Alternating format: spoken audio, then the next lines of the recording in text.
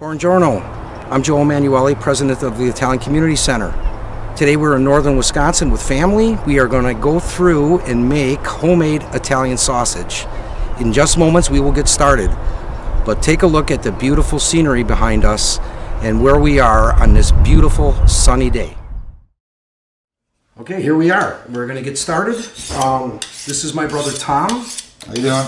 We're at his house. He's going to assist and guide us through this and get going. Um, what are we starting off with here? This is uh, About eight, nine pound pork butt. It's pretty lean, so we don't really have to trim a lot of fat off of it. yeah, looks nice. Yeah. Looks really Yep, nice. yep. So, did you want something to drink?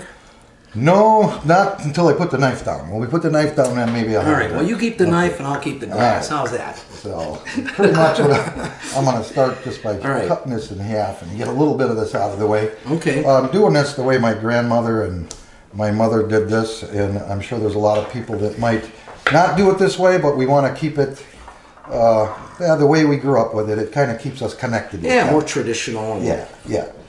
And it's easy to go to you know a place and buy Italian sausage, but sometimes you know you, you, you could kind of make this right like the, like we wanted. You could add Yeah. more spice, you could add Yeah. more fennel, you could add more salt, more pepper. You're, you're, you're basically putting it together, and, it, and it's fun. It's, it's something to do for the holidays. You're not making 80, 90 pounds of this stuff. You're making what eight pounds, Right, right. and um, so.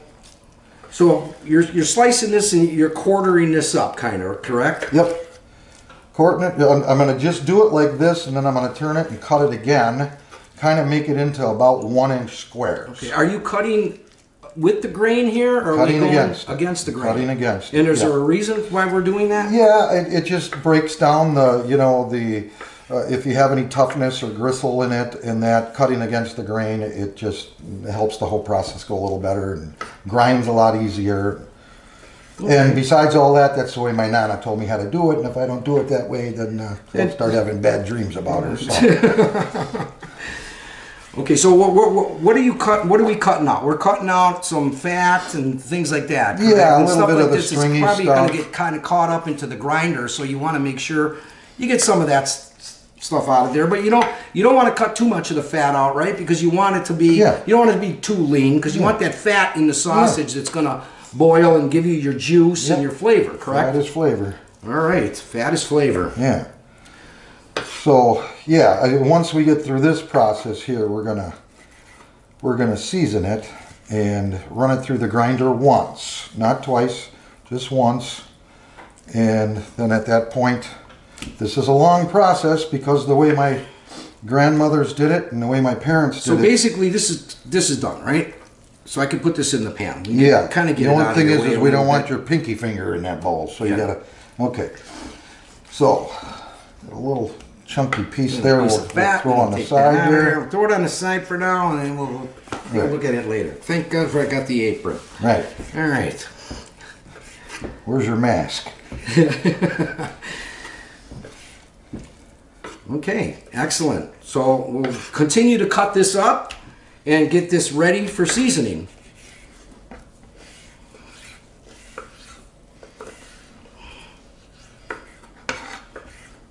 Okay, we got all the meat cut up. uh, We got it cubed, trimmed off some of the excess fat that we uh, felt might have been a little bit too much. So what we do now is we're going to take this meat and we're going to weigh it. And that's going to determine how much we have versus how much spices we're going to put into the Right. meat, correct? Yep. Okay, so we're going to take this, we're going to put it on the scale. We zeroed the scale out already to weigh the pan. And we got approximately eight and a quarter pounds Yeah, call it eight pounds. Call it eight Yep. pounds of meat. So we will start from there and start with our seasoning.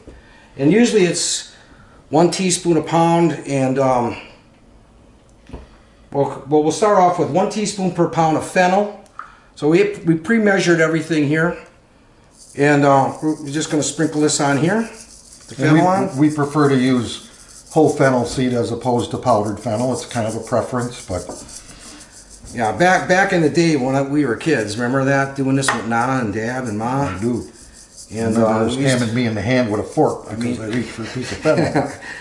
Well, we used to, uh, right around, right before Christmas time, we would, uh, make this the, make the Christmas sausage, and this is what we did. It was just kind of a tradition that we did every year. Yep. Um, you know, back in the, back in them days, you didn't have an electric grinder, so what you had to do is we had a hand crank grinder. Yep. So I was my- the cranker for a while. yeah, me too. So my dad would be cutting the meat, my grandma would be seasoning it, and my mom, and then you know, then they start putting it into the grinder, and we'd be cranking away and you know, cranking through this. Before that time, back early in my grandmother's, my nana's earlier days, she would actually cut the pork up in tiny little cubes by hand, and then get a funnel and stuff the casing with her thumb. Yeah. She didn't even have a grinder, so they just they were workhorses. Where they got that that logo from Arm and Hammer. So, anyways, it's a teaspoon per pound of fennel. We measured it all out. We got eight pounds. We put eight teaspoons of fennel in Yep, here, yep. and that's where we're at. So you got to measure your meat once you once you cut it up and trim it, and, and then you calculate what how many how much spices you're going to put in there. So I put the eight teaspoons of fennel in here, and now we're going to put one teaspoon a pound per pound of salt. So we want to put the salt in there, sprinkle it in. And then we're going to mix this all up when we're, mm-hmm. we're all done. Yep. And once the salt is in, we're going to do a teaspoon uh, per pound of black pepper. Um, coarse ground black pepper is the best. It's got the most flavor. That's what you kind of want to use. I remember my mom and my nana used whole whole pepper, and Yeah. they, they they smashed it themselves. They would put it in a towel. They would use a rolling pin. Rolling pin and crack big arms. pepper. And uh, so that's for the pepper. And then a half a teaspoon per pound of red pepper. Now this this is kind of optional. Yeah, yeah. You know, we use we, we we do a standard um, half a teaspoon a pound. Gives it a little bit of tang, but that's a personal preference. If, Right. you, if you want it hotter, you put more in of crushed reds. If you want it if you want it mild, uh, you put less. If you don't want it hot or tangy at all, you basically don't put any in. So it's it's it's kind of optional, but we like to put a little bit of tang in there. Unless you're like my son and want to clean out your intestines, then you put in a whole teaspoon per pound. Then, Exactly. yeah, right.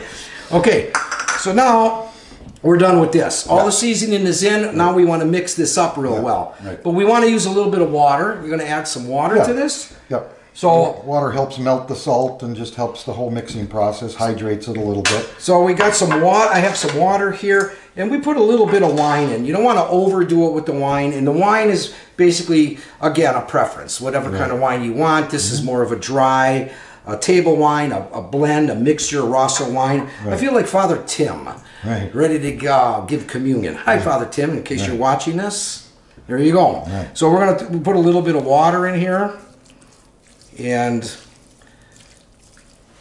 Get that get that going. You want to put the wine right in right away, or Yep, yeah? yep. So, and then we're gonna do a little bit of wine.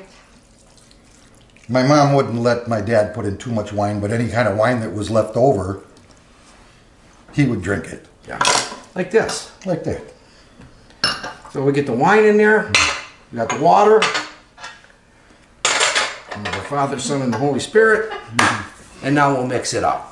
Tom. That'd be me. Yeah. I'm the cranker and the mixer right now. and I did wash my hands. So we want to kind of mix this thoroughly, and that, that water especially helps melt the salt, kind of mixes everything together here. Of course, after we're done thoroughly mixing this, you know, this is a two day process.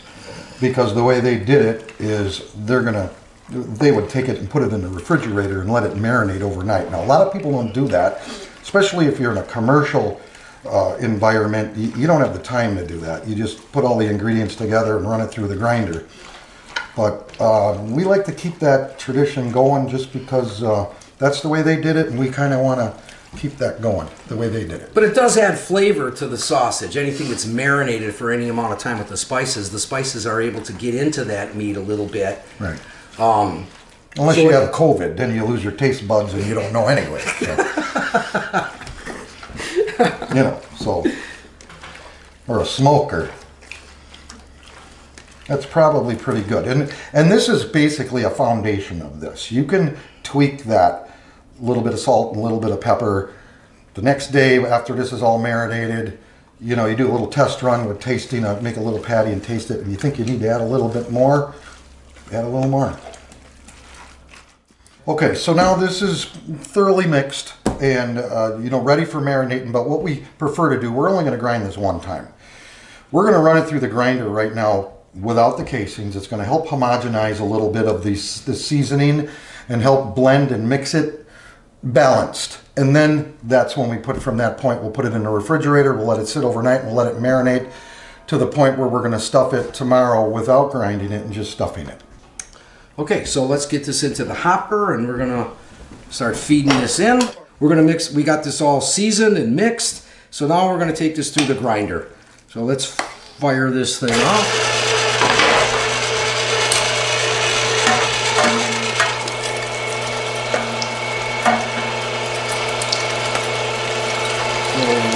There's a reason that we run this through the grinder first. Right, Tom? Yeah, I, you know, it just helps balance out all the seasoning and mix everything before we marinate it. It's not really totally uh, the way we might have done it years ago, just based on hand crank grinders. But over the years, my mother made that little adjustment, and she, just, she decided that grinding it first with the seasoning before marinating it just really left a balanced uh, flavor in it before it got stuffed. And of course, we didn't grind it again once we stuffed it, because we always preferred coarse ground sausage. And again, that's a preference. All right, going pretty good. Almost done here. Get this pan, let me put this up in there like so. There we go. That's taken care of. So this grinder works pretty good. It grinds up pretty good compared to a hand crank. Yeah. It comes out pretty pretty fast.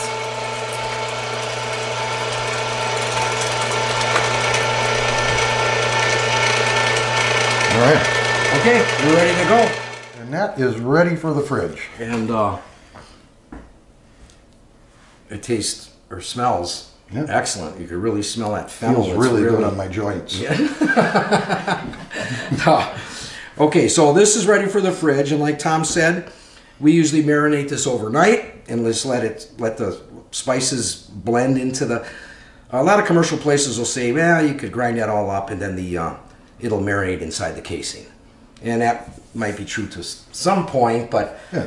once you put this in the casing, if you feel and then you test it, you feel that you want more, it needs more salt, or it needs more fennel, or it needs something, you, you're kind of done. It's in the Right, it's in the right. casing. You, you can't you can't now add to it anymore. Right. So what we do is we and what we were brought up to do is like you said, let this marinate for overnight, and once we do that, we fry up a patty, and now we can test it, see what it tastes like, and if, when we got it where we want it, then we'll put it into the casings. We're- Then we're gonna put this into the refrigerator, and we let this kind of marinate overnight. Uh, it's just something that we do. Our grandparents did it. My my nana did it. My mom did it, and they just thought that the spices would blend better. Yeah.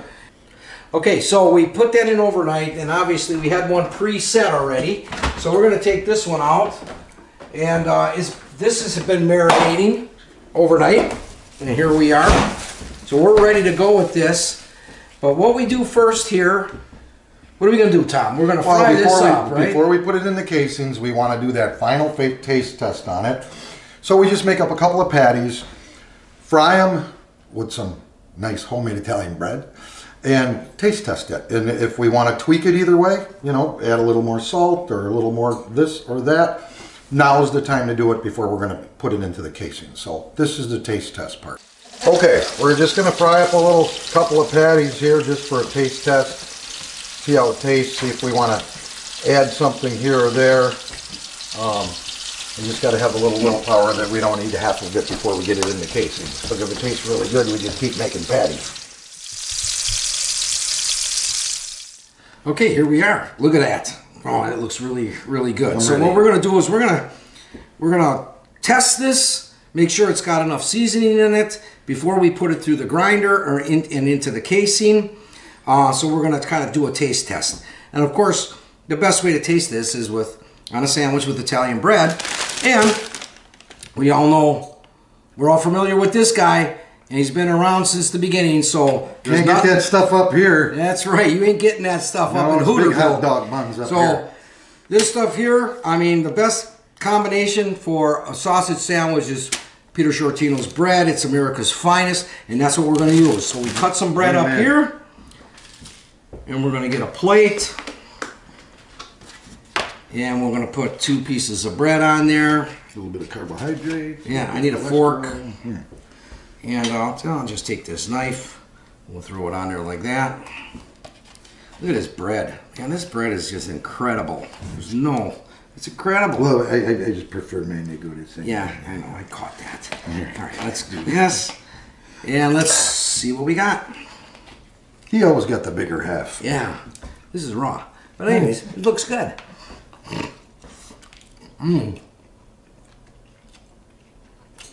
What do you think? Perfect. Does it need any salt? Nope. I don't think so. Fennel's good. I really taste the fennel with it. Mm-hmm. Pepper. Mmm. Wow.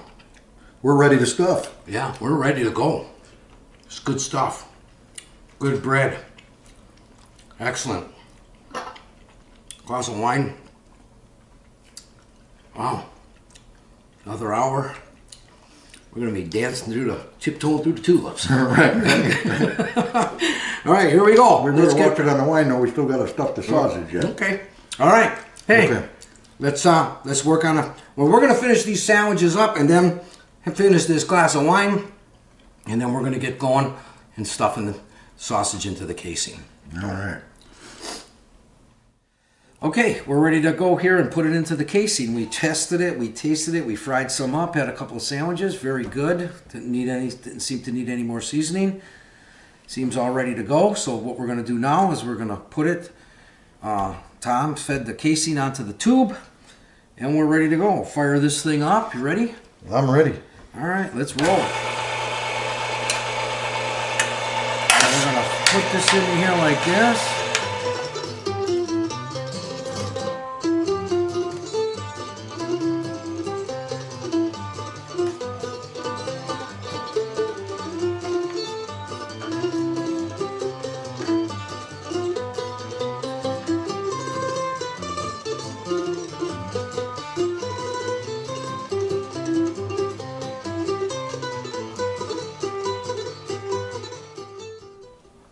Got it all in the in the casing. Now we're gonna start to link it, link it together. Kind of spin it around. Go to the next one. Spin it around, and we just keep on going down the line like this. Okay, looks like that's it. We Yep. did it. It's all linked up. We got. Uh, now, basically, what we'll probably do is we'll package it up, four to five to a pack. Do a, use it in a vacuum sealer, and some of it will freeze, some of it will cook.